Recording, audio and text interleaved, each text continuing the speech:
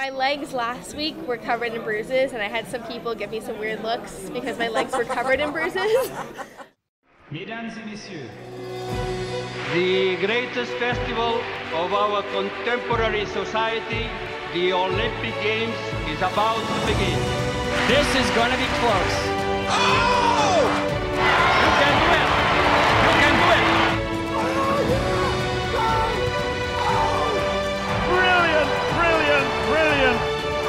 That is an Olympic champion.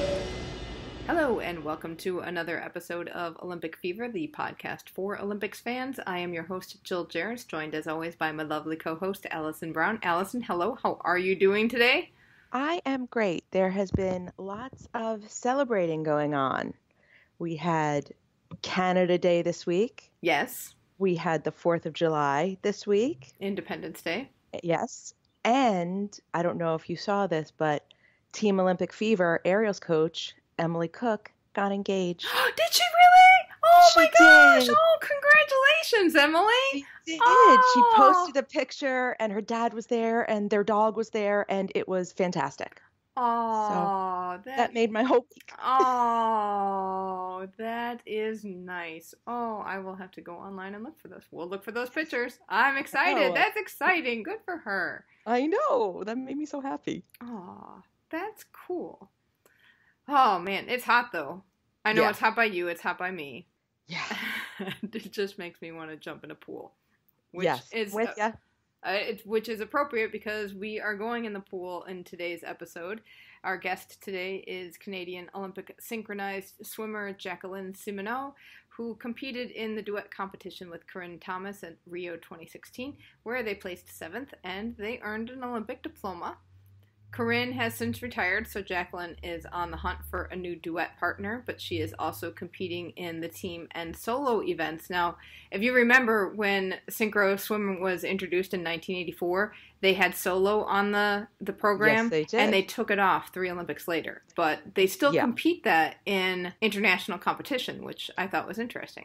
Yeah, they did not have the team competition. I think it was just Right. solo and duet when they started out. Yeah, but they still do it in international competition. And the other interesting difference between the two is that in regular FINA competition, they have the technical and free programs are separate events.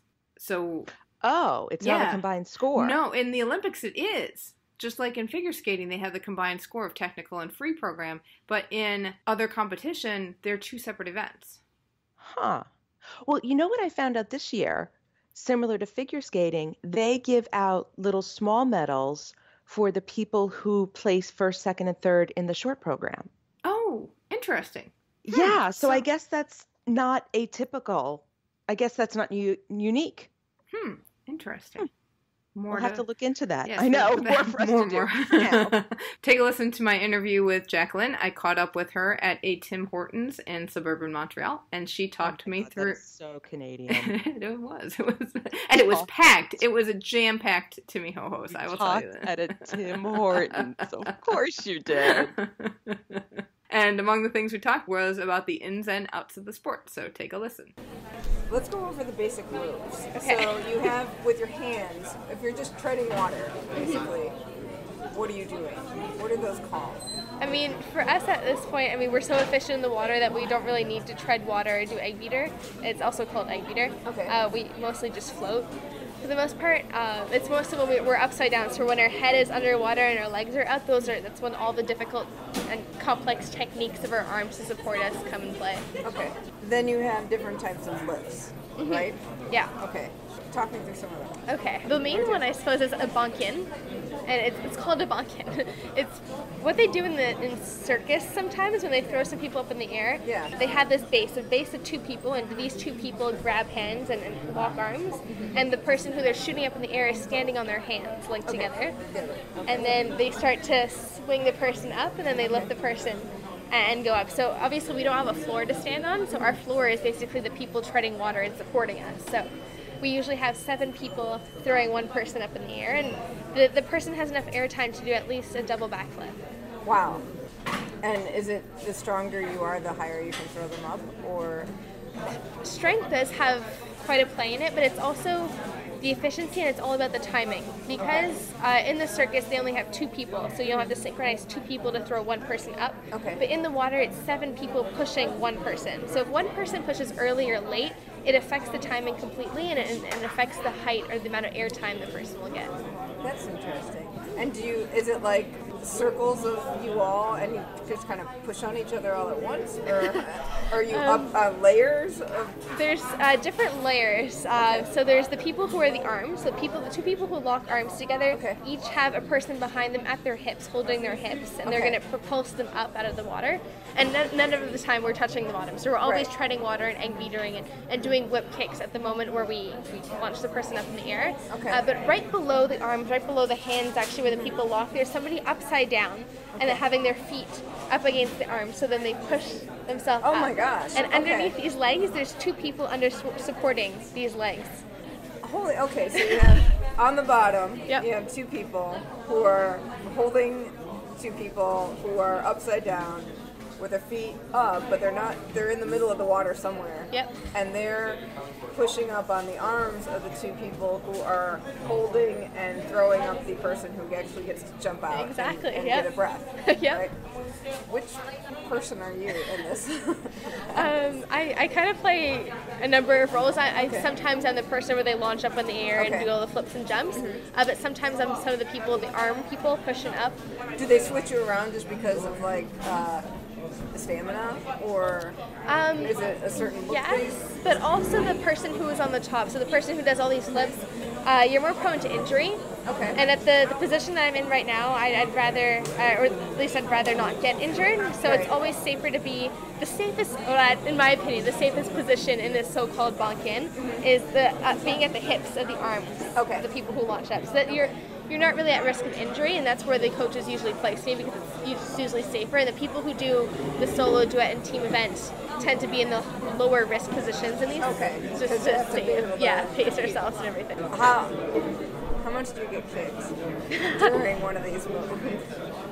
Kicked because of uh, acro. No, because or- like somebody because they're the- swimming close together. Yeah, just being close Oh, together. very like really often. Uh, my legs last week were covered in bruises, and I had some people give me some weird looks because my legs were covered in bruises.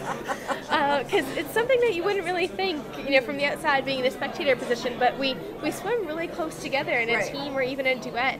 And treading water, uh, when you're a couple inches away from somebody, obviously Right. you're gonna hit and lock legs. And we're not wearing shin pads like we do in soccer. I mean, we're, we're have our bare legs, so get beat up. You know, somebody could make like sequin shin guards. I would be okay with that. I would like that. Alison, we're making some sequin. We're gonna make some sequin shin guards. Note that. Yep. When you accidentally lock legs with somebody, like, do you both just start sinking, or what? or you just go, oh, dang. Um, obviously, the instinct is to start sinking. So if Yeah. you get a really big cake, I mean, you're you're pulled down underwater. Okay. But uh, you could get penalized for this in your routine. So we, we just okay. continue as if nothing happened. Okay. Wow. If you were the person being launched, like that's prone to injury. Yeah. So what, like, what injuries? Like you, you don't, you belly flop maybe. oh, yeah, yeah, belly flopping, but it's not actually too common to belly flop. Okay. It's actually uh, sometimes when you come out of a double backflip, you could either elbow somebody in the head, or you could your head can land on that person's feet who are pushing you up. Oh my gosh. So there's been a lot of head, neck injuries, Okay. or elbows landing on heads, knees Okay. kneeing people in heads. Okay. That right Something there. that you wouldn't really think about the Right. sport. So, and when, when you do a team event, like, do you have a prescribed number of lifts that you have to do in the, at least in the free portion? Because are the technicals everybody does the same routine? Yeah, so the technical routine, you have to have a minimum of two lifts. Okay. Uh, one is one big lift where you throw one person up in the air, and then you also have to have two lifts. Okay. So where you're, you're split four and four, and you have to lift two people Oh, up in the air. So those are pretty neat. Yeah. And then in the free routine, you're pretty much free to do whatever whatever you choose to do. So some countries get really creative Mm-hmm. at this. I mean, Ukraine is, is known for their highlights. Uh, they throw people up in the air really high, and they do really crazy acrobatic moves, and it, it's pretty neat to watch. Let's go to the beginning of a routine. Okay. You're on the, the deck. Um, well, no, let's go back one further. Costumes. Talk to me about the costume. You have a suit. A lot. I see a lot of sequins. Yeah. A lot of netting. Yep. How comfortable is that? Are they? spandexy or not really? I mean, some coo- some suits are more comfortable than others. Okay. Um, I mean, it's, it's obviously a, a normal speedo suit is the most comfortable Yeah. there is. Uh, just because of the sequence, sometimes the way they're placed in the suit, if they're placed close to the underarm, sometimes your arm Yeah. could rub on it. But Okay. I mean, it's something that you don't really notice. You're only wearing it for a couple of minutes, anyways. Okay. So it Um. How much do those run, if I can ask? How much do they cost? Yeah, yeah. Uh, it depends. I mean, our Olympic suits, one Olympic suit itself was a thousand dollars. Get out of town. Yeah. No. Holy cow. so that's right up there with figure skating. Yeah. Okay. Um, and I'm guessing there are people who design synchronized swimming costumes. Yeah, well, actually, uh, people who do figure skating costumes are the same ones who do synchronized swimming costumes as well. It's a nice little sideline for you. Yeah. Okay. Um, so you have that. You usually do you almost always have a headpiece that goes with it? Or- Usually, if you want to look professional, as they call it in our sport, you usually wear a headpiece. I'm not a big fan. no. How, how come? Um, one, just because of the time it takes to put it on before. I could be using that time to stretch or warm up or keep my body warm, but instead I'm, I'm putting on a headpiece and pinning it in my hair. Okay. And uh, I don't know if it gives that much of a result or outcome if we get we don't necessarily get judged on a headpiece. Right. So- but for some reason that's the thing. For some reason, it's the norm. It's not written in the rule book that you should have one, but it's highly recommended that you do. Bathing caps would be great though. I hear you. Because then you also, what's up with the hair slipping back? Yeah, so what we put in our hair is, gelatin. Okay. So this, the, the stuff that you use to make jello at home, Yeah. just without the flavoring and the food color. Okay. So- for a prank, do you ever swap, swap someone's gelatin for like colored gelatin? That- no, that, that's a good idea though. I like that. Yeah.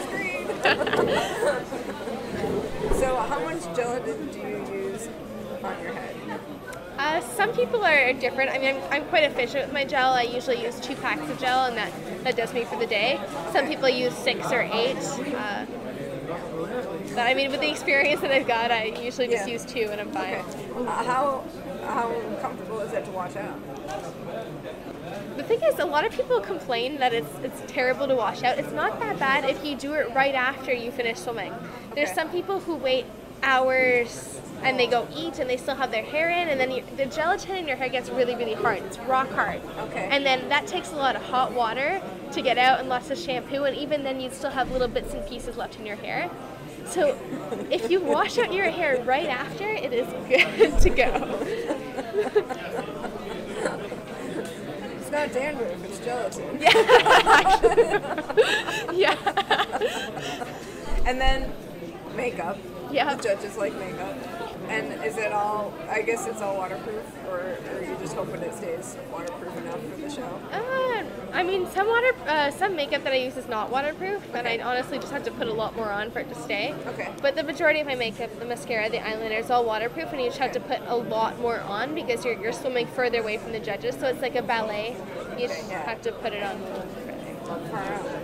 Also interesting. I, I, I have thoughts about that. but it just These are not my favorite weird. parts. Yeah, it's, it's very it seems strange. very, you know, like you talk about little kids pee in the pool, like Yeah. you've got makeup coming off. Yeah, and gelatin all over the pool. I mean, the gutters and the whole pool system after competitions is shell, Oh, after man. shell and everything. Man, I would hate to be the pool maintenance guy. That's why we should wear bathing caps and Right? don't need don't need makeup Right? either. I mean, and they can either bathing be special. Like I saw little ones that had sharks on them. Like, Oh, yeah, fin, you know, that'd be awesome. yeah. Jaws routine. Um, got the gelatin. Nose plugs. Oh yes. Essential. right? Yes. Okay. Crucial. Um, uh, earplugs too, or no? Nope. No. Okay. Then on the deck, getting ready. How, do you have a pres- prescribed amount of time, or like up to amount of time Yep. that you have to like before you get into the water? What do you call that? Uh, so we call it our deck work or our Okay. walk on, I Okay. suppose. Okay. Uh, so we have a maximum of 30 seconds to walk on to the pool. Sometimes we do a little dance or we just walk on and we go into our position and we have 30 seconds to do that. Okay. If we pass these 30 seconds, we get a penalty. Okay. How much of a penalty? One point. Okay. Yeah. And how many does it uh, deduct from a? Do you start with a high score and you take points off, or do you just add points from zero? That's a good question. So it depends. Some judges start uh, at a 10 and then they work their way down, or some just give an overall score. There's nothing really that's predetermined. However, they are working on a new scoring slash judging system uh, that's probably going to mimic a little bit of figure skating too. So be curious to see when that Ah. comes out. Do you know when that's happening? Or are they talking about it this year? or- Not too sure. They've done a couple of test events. Okay. Uh, and they're trying to make it uh, more objective too, and make it more uh, like in figure skating. When you uh, actually execute an element properly, you get an X amount of points. You get that little green Oh, yeah, dot that you see at the top yeah. of the screen. So we're working towards that.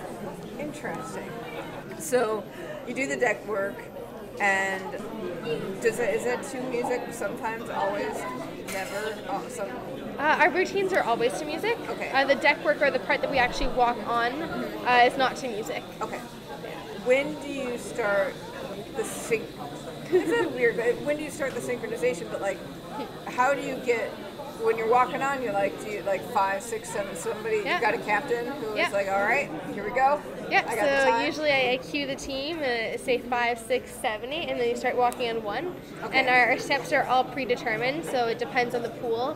Some pools are two sets of eight, two sets of eight of walking, or about Okay. you know, 12 steps.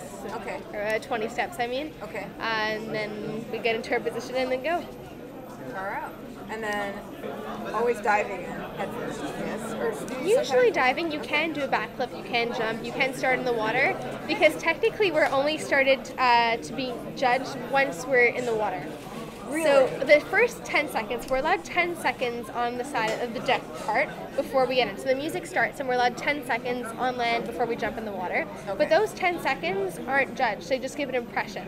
So they may affect your impression score, Okay. but they're not technically supposed to judge it. So you could start in the water if you like. But nobody does. Some people do. Really? Yeah, it has happened. I mean, there's one routine that I swam in Beijing uh, Yeah. four years ago, and we started in the water, and that, that Oh, worked just fine okay. too.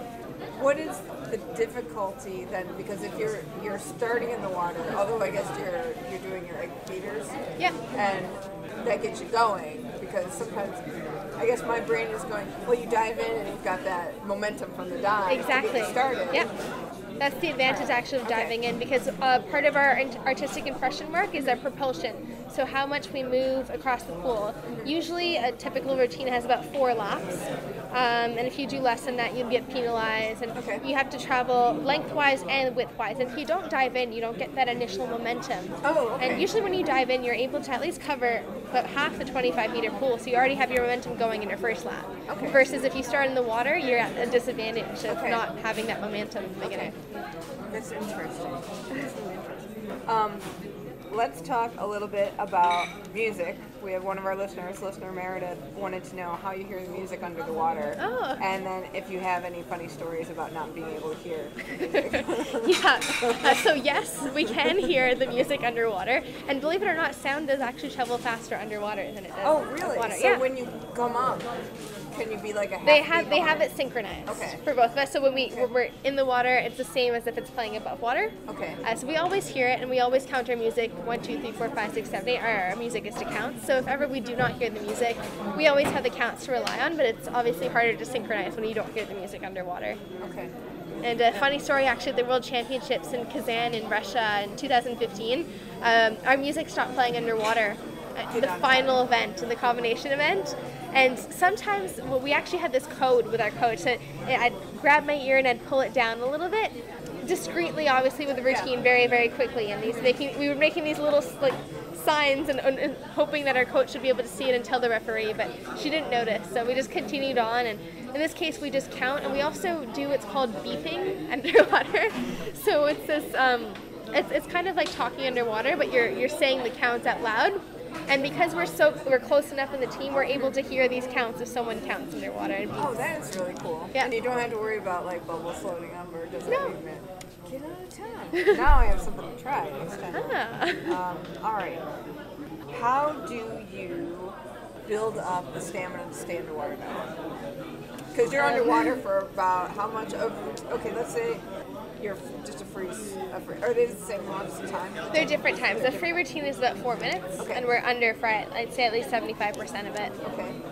And then the, the technical is what? Like, techno is about 2:30. Okay. Around that time. Underwater for. Same thing, about three quarters. Okay, so say you got to build up a good three, three and a half minutes of Yeah. underwater breathing time, and when you get up, how much time do you really get to breathe? I mean, I, I would assume that choreography is mapped out strategically to give you some breathing time or like resting time in between being underwater.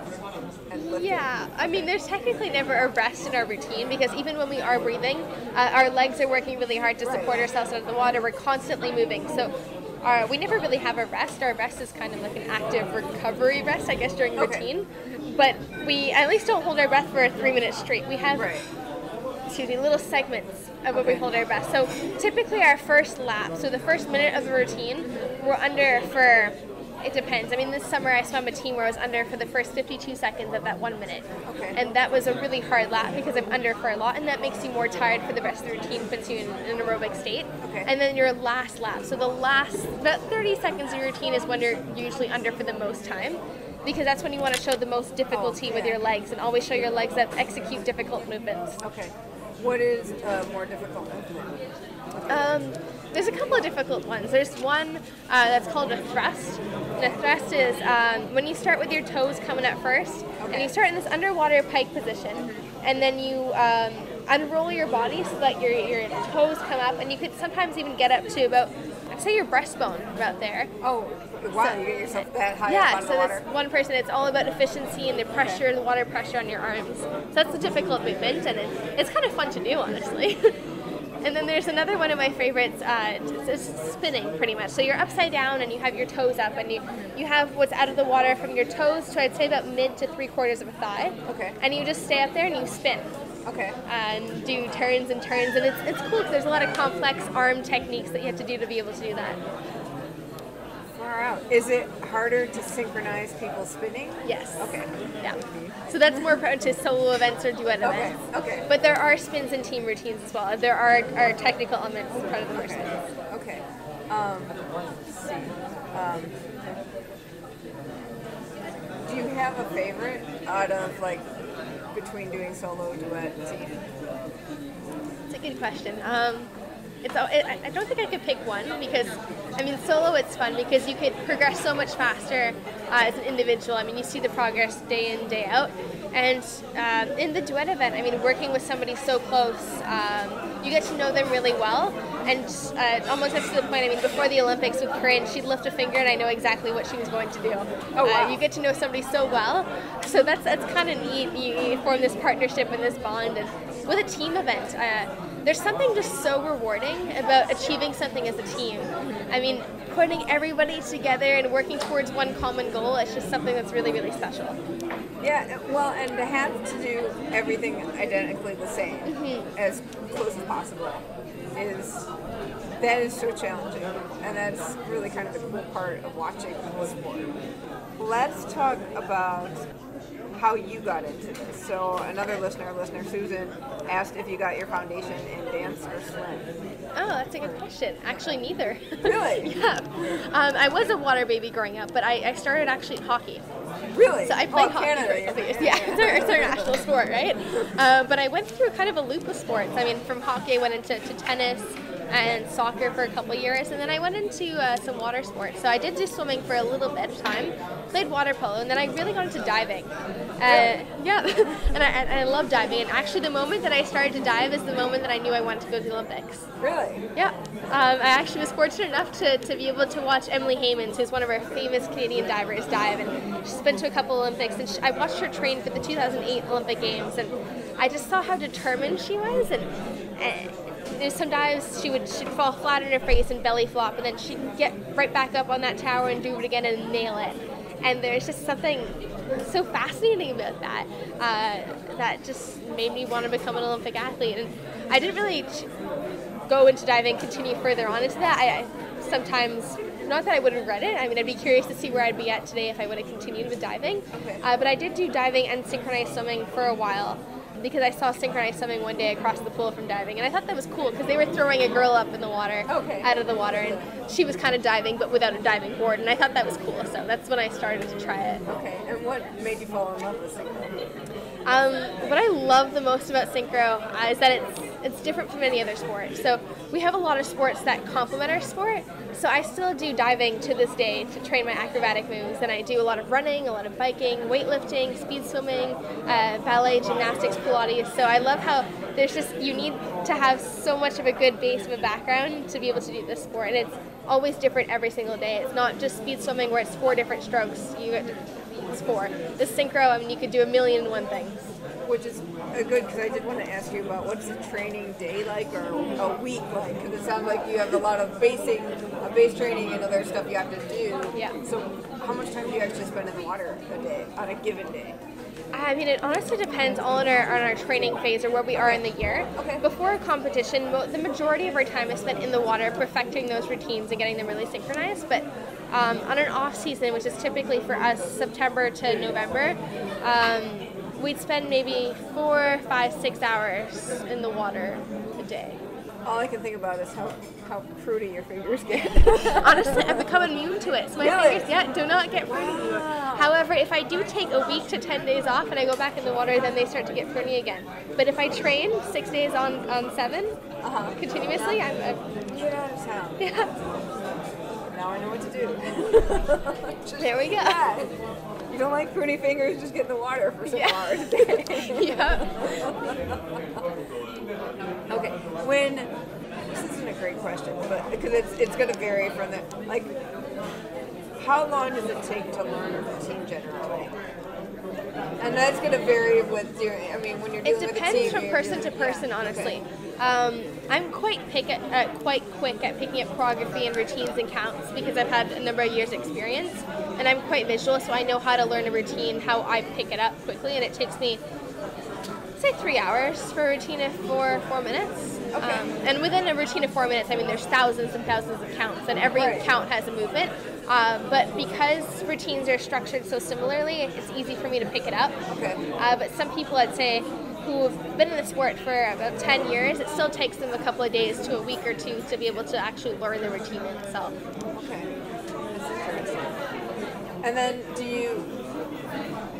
How does your coach give notes? I mean, like, do you get like, do you go through a routine and say, okay, here's where you're not synchronized. This count is where you gotta get in sync, or do you watch footage, or what? You know, do you watch film a lot to figure It's out? actually a really, really good question. Um, so there's there's lots of ways to, to correct ourselves. So first of all, we're, we're judged also on our execution. Our execution is kind of like our line in the water. So for example, if we have our toes up and our heads underwater, and we're in this what we call a vertical position, so we're vertical upside down, we could be crooked, we could be on our face or on our back, we could be angled, and that plays into our synchronization. So one of the first things our, our coaches coach us on uh, is our, is our lines in the water. So if one of us is 45 degrees on an angle and one of us is straight, that's going to make a huge impact in our synchronization. So the coaches have to have a really fine-tuned eye for the for these lines. And then secondly is also the counts too. So um, two people could be on the correct counts and one person could be a little late or early, so they have to have this eye to see, you know, all about the timing. Then we do uh, you use a lot of video footage, uh, usually after a couple of months of training a routine, because usually it takes months to, to sift through these alignment corrections, these timing corrections. And once we get to the fine tuning part is when we watch our videos of our routines in slow motion. Okay. And then we tend to pause the video on certain movements, and then we're able to see things in details. And, You know, finger positions. If one pinky is out a little bit, it's the small, fine, fine, fine details that will make a difference. How does a judge see a pinky finger from across? I guess they can. They have really good. vision. Um, maybe the judges won't see it, uh, it. but we know it, and I mean we're, we're aiming for perfection, right? So any little thing could make make a difference. Okay, so do you have when you practice? I know uh, at least in the pool at the Olympic Center, they've got above. You know, you have the deck, and then you have below water. You can see through those pool holes. That's Yeah. really cool. Do you have like two coaches, one up and one down, who are figuring out the synchronization, like seeing where you're synced underneath? Yeah. Because you kind of also have to be somewhat synchronized underneath to be synchronized up there? Yeah, that's a, that's a good question. So we're technically not judged if we're synchronized underwater, although you can see some synchronization underwater. Uh, but we use um, one of our guys who's in biomechanics. He films us underwater. Okay. And then what's part of also our video review and fine tuning our routines is watching these underwater videos because most of the time uh, when we're treading water, if our legs aren't exactly synchronized, it means that we're not synchronized above water. Okay. Same thing for when we're upside down to where our complex arm techniques. If our arms aren't synchronized in split sculls or, or what we call support scull, then we're not going to be synchronized above water. So we do look at those footages as well. Okay. Anything else we haven't talked about, like the basics of the sport? And you get it's a 10.0 scale, Yep. okay, and there are what, about five judges or so, Mm, usually, or that's a good question. I should know this. Um, that's the judges are split up. So there, there's a, an X amount of judges in execution, an X amount of judges in difficulty, and, and some in artistic impression. So they're split up. Um, and then for our technical routines, there's only a certain amount of judges that only look at our elements, elements, nothing else. Okay. And then there's judges who look at uh, the difficulty, the execution routine, and judges who look at artistic impression. Uh, and it, I'd have to take a wild guess, and then you could probably verify this, it'd be about 15, maybe to 20 judges. So I'd say it'd be split up on both ends of the pool, uh, either 10 on 10 on both ends. Okay, I didn't realize that they were split up on different sides. Yeah. And that makes a difference because you can see on, duh, you can see on either side. yeah, and it'd be funny sometimes uh, these panels on either side of the pool aren't exactly aligned, and so one judge who's on the far end of the panel doesn't exactly see what the judge on the other side of the pool sees. So sometimes you can see a variation in the marks of which judge was sitting on what side of the pool. Oh, so this is all where it comes into play, where you can place certain movements in the routine strategically. So some judges see some things and some judges don't see other things. So if you have a weakness and you want to hide it, you know exactly where to strategically place it in a routine. Wow. oh, that's blowing my mind. When you're spinning underwater, do you get dizzy? Um, it's a good question. So, for the most part, no. For example, team routine spins, uh, so when we do a spin in, in a team routine, they're generally slower, uh, just for synchronization purposes, so that I don't get dizzy. Duet spins, same thing. They're generally faster than a team, but still not fast enough where you get dizzy. But in solo, um, some soloists don't have the ability to pick up that amount of speed, but the, the soloists who are able to pick up a, a significant amount of speed, you definitely get dizzy after. And in one of my solos, this solo that I competed last week, I, I do uh, you know, at least 15 to 20 spins in, in one breath. And I go up and I go down and up and down and up and down. And in those cases, sometimes I get dizzy, sometimes I don't. Uh, Far out, man. that's amazing. Listener Meredith also asked about men in synchronized swimming, oh, yeah. and I know that there are mixed duets Yes. now. Have you ever thought about doing a mixed duet? are there many Canadian male synchro swimmers? There's not that many male Canadian synchro swimmers. I, there's, I mean, two or three that I can think of off the top of my head. Um, and we had a mixed duet compete at the World Championships last summer in Budapest, who did fairly well. And maybe it's something I'll consider down the road. Okay. Uh, but for now, I've got my plate full with my three Yeah. events there, so I'm pretty Okay. pleased with these three. Because it's interesting when you. I was just diving into diving in, get, digging into a little bit of, of when I was doing some re- the research, and of course we have the, the Saturday Night Live. Yeah, yeah, of course. everyone knows. Classic.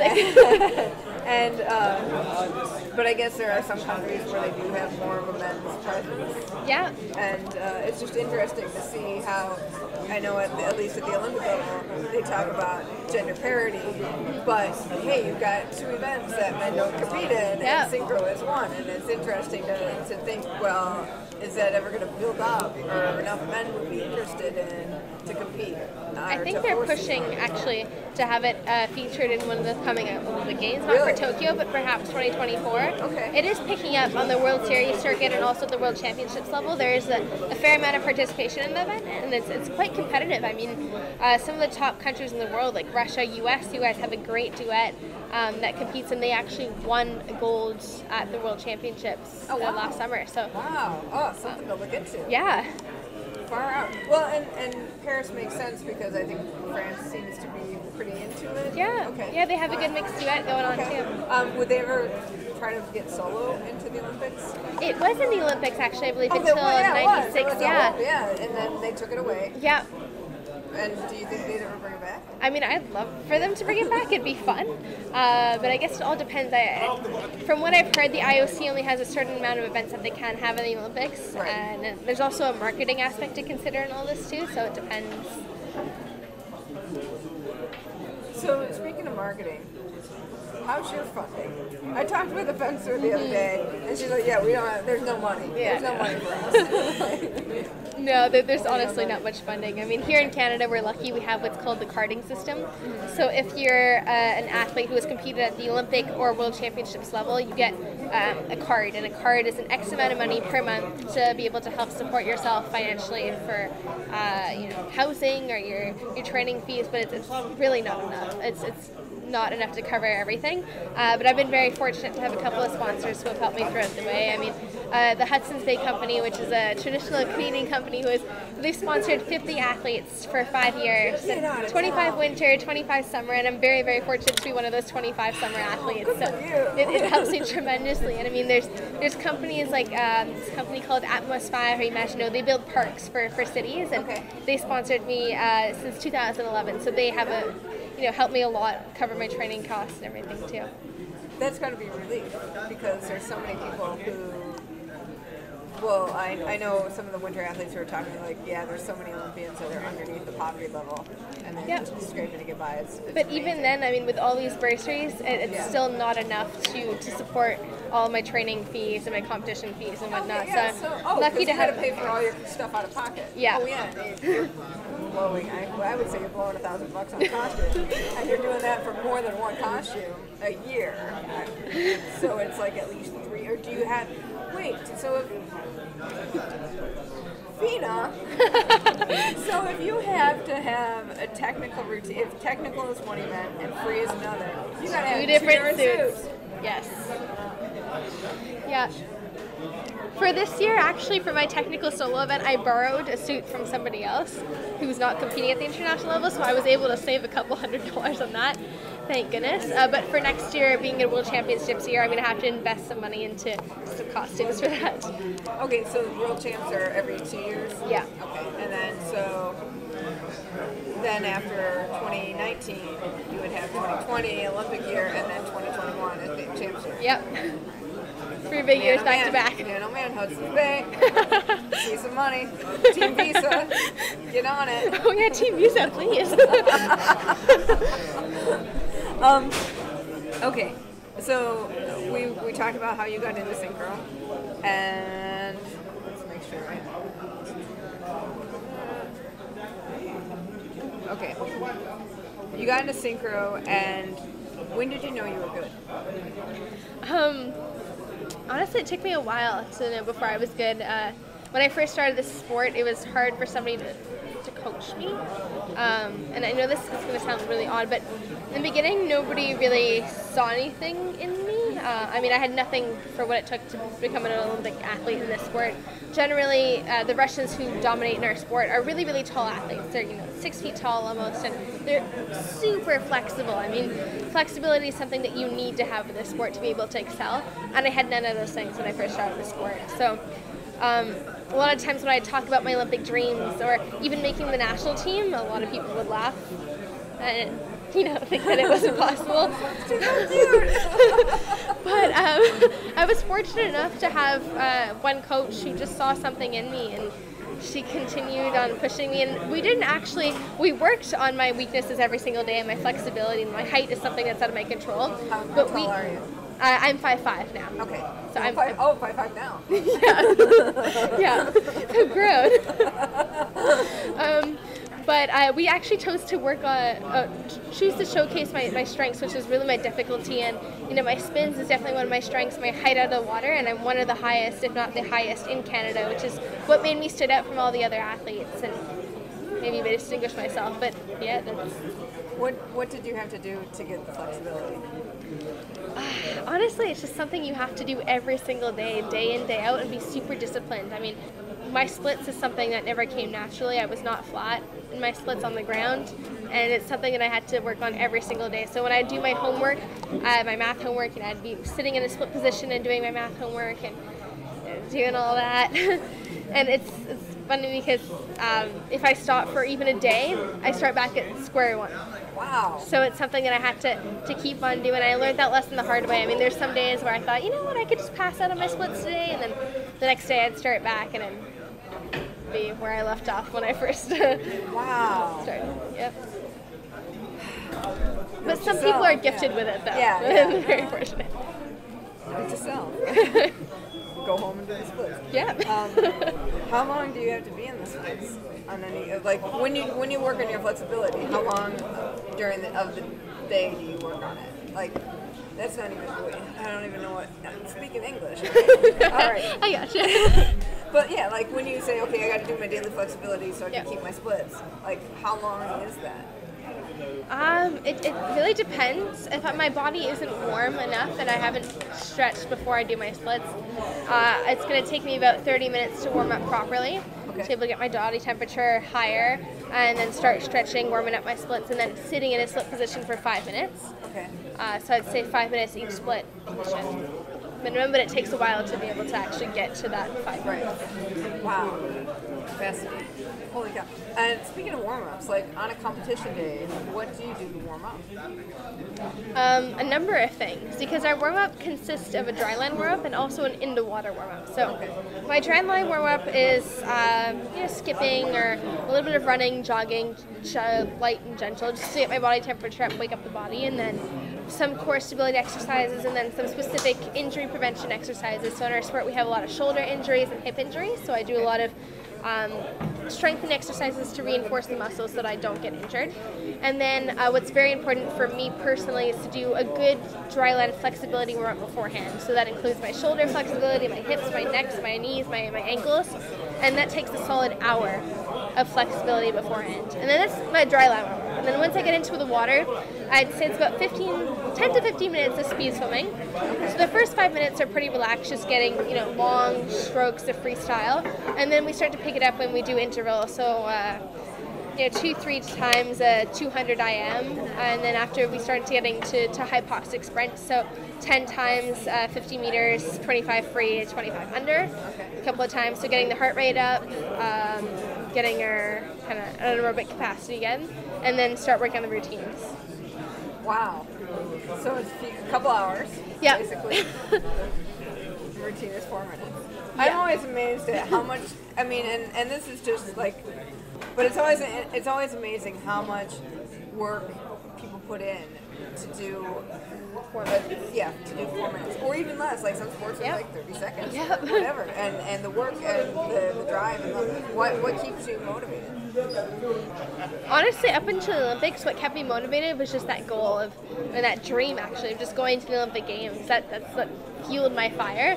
And after Rio, I guess without having that dream, I mean I've kind of had that check mark there, but just I'm surpassing myself every day. You know, becoming a better athlete every single day, achieving goals, trying to to better myself as an athlete. That's what drives me every single day.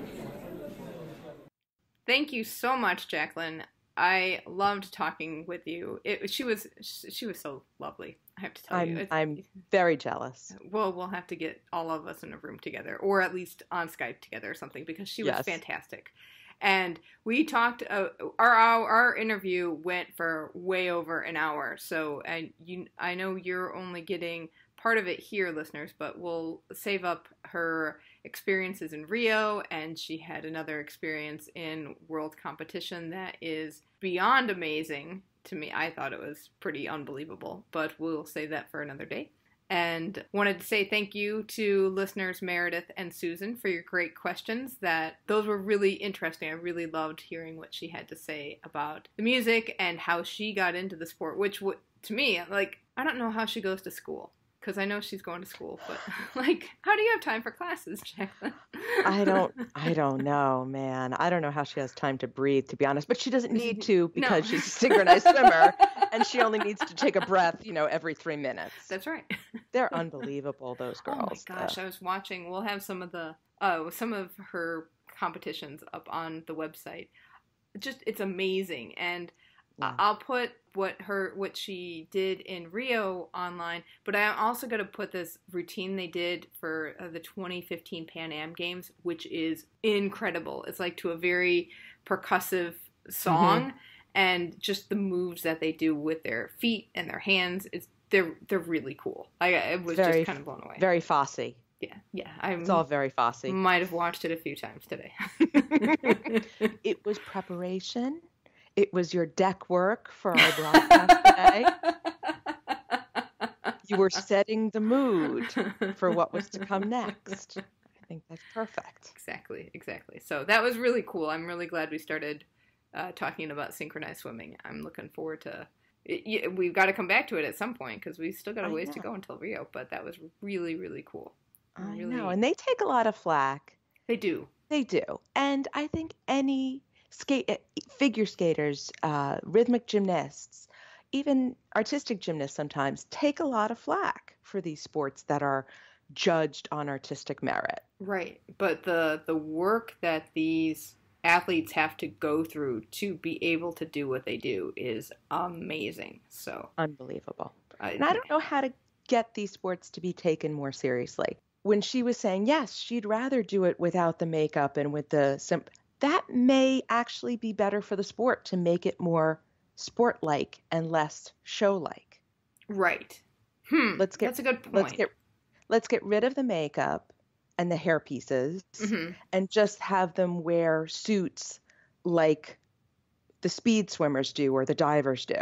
Right. And I wonder how much of this is like just a continuation of all the like synchronized synchronized swimming from old movies. Right. know? I mean, that was where it came from, Right. isn't it? From the old, Mhm.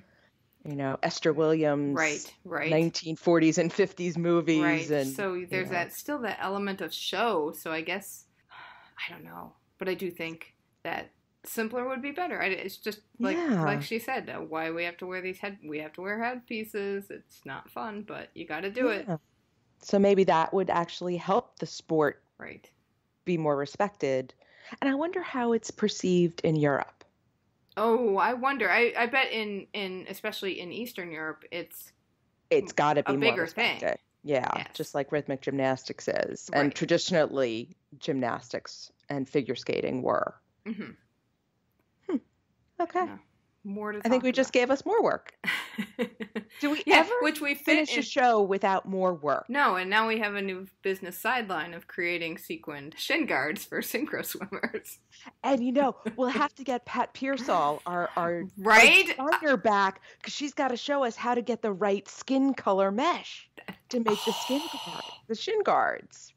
I hear you, because that would be a detail that wouldn't go unnoticed. I know, Pat. We need you. Oh man. Okay, so we've got that on our to-do list.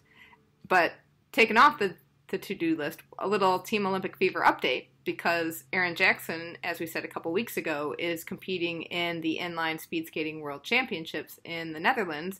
So I wanted to fill everybody in on how she's been doing over the week. How is she doing? I, I doing- had not checked on this. Okay, so she she has got one busy race card. So she's doing the 500 meters, the 1,000 meters, the 3K rate relay, and the lap circuit sprint, which I don't really know what that is, but it's another event. I so she made it to the semifinals in the 500, uh, but she finished third in her heat. And some somebody else I know, somebody else in her heat got disqualified for pushing. So I wanted to know more about that, like where that push came from, or if it affected our girl Erin at all. But that's the way that cookie crumbled. In the 1,000 meter sprint, she finished 16th. In the 3K relay, her team finished ninth, and then in the lap circuit sprint, she finished third. Okay. Yeah, So we might not know what it is, but clearly Erin does. yes, and she's very good at it. yes. well, good for her. I'm glad she had. I'm glad she had such a full race card. That's great Right, Right. that right? she had qualified for all those events. Yeah, it's uh, it's amazing. So then you know she's gonna move on to uh, move over to Utah sometime soon and And switch go- back. switch back to the ice. So it's pretty crazy. She's really amazing. Oh my gosh, she really is. She really is. I also I don't know if you saw this, but USA bobsled and skeleton had summer camp, and I noticed a few of our Team Olympic Fever members on the video. Yes. And so Lauren was there, and Nick Cunningham was there, and Josh Williamson was there. So yes. Did you see Nick Cunningham's new beard? I did see that. Almost didn't recognize him, but I I know. I recognized the the head. I thought it was very lovely. It suits him. It does, yeah. So that was cool to see them goofing off and Yeah. helping some veterans and things like that. And then uh, the other day, I got a chance to catch up with Clare Egan on the telephone. So we're going Oh. to have an update from her next week on Oh, what's been going on. Yeah, because there's been oh big news in biathlon. Did you hear that the IOC pulled uh, their funding from the International Biathlon Union? I did. Now, did that Oh. happen before you talked to Clare or Yes, it did. Oh, It it, did. did. So you Yes. guys could talk about that. We talked a little bit about that. We didn't have a Okay, ton of good. time, but we we tried to get through the Olympics and what she's doing now with them and and what she's she's got at least one more season in her, she says. So talked about uh, what she's doing going into that, and then we talked about the situation with the IBU. And it's not a it's not a great situation because there's like criminal charges going on for some of the people Yeah. who used to be at the top, but now that they're out, maybe things will get better. yeah. But man, Ugh. losing your funding, Okay. tough, Yeah. Always happens the year after the Olympics, all the political shakeout. right? Oh, oh. I was celebrating when I started. You did this to me last week, too. Oh, gosh, I gotta change, man. Oh, it's the heat. It's See, you should have you should have started with the bad biathlon and finished with, With- the good Erin Jackson news. Hey, did I tell you that Erin Jackson got third in the lap lap circuit sprint at the inline speed skating world championships? Oh, I'm so happy for her. Cook got engaged. Good for her. I know. Their dog was with them. Aww. Her dad took the pictures. Aww. Posted. Got anything else? No, I'm just I'm hot. Yeah, I'm hot too. So I think it's time to get into some AC. Yes. And yeah, next week we'll have Clare on the show again. And oh, what you know what else? The we talked a little bit about you and I, Alison. The IOC is showing more transparency with their bid documentation for what the host cities need. So I think over this week, well, we can start plowing through it because All 300 pages of it. I yeah, know, we're going to read it so listeners don't have to. Right, and you can understand a little bit more about what goes into what a host city bid actually looks like. So that will be interesting because it, it's interesting to see that the IOC is being transparent, but they aren't necessarily being brief while they're at it. Yeah, I'm hoping it's 300 pages because it's in both English and French. Knock on wood. Yeah. All right. So, S'il vous plaît. All right. On that note, we will get to our reading and we will see you back here next week with more Olympic stories. In the meantime, thanks for listening and keep the flame alive. Stay in touch. Email us at olymfever at gmail.com. That's O L Y M fever at gmail. You can also leave us a voicemail at 530 763 3837. That's 530 70 fever. We're on Twitter at olymfever, and you can join in the conversation at our Facebook group, Olympic Fever Podcast. Thanks again for listening, and until next time, keep the flame alive. Now we have a new business sideline of creating sequined shin guards for synchro swimmers.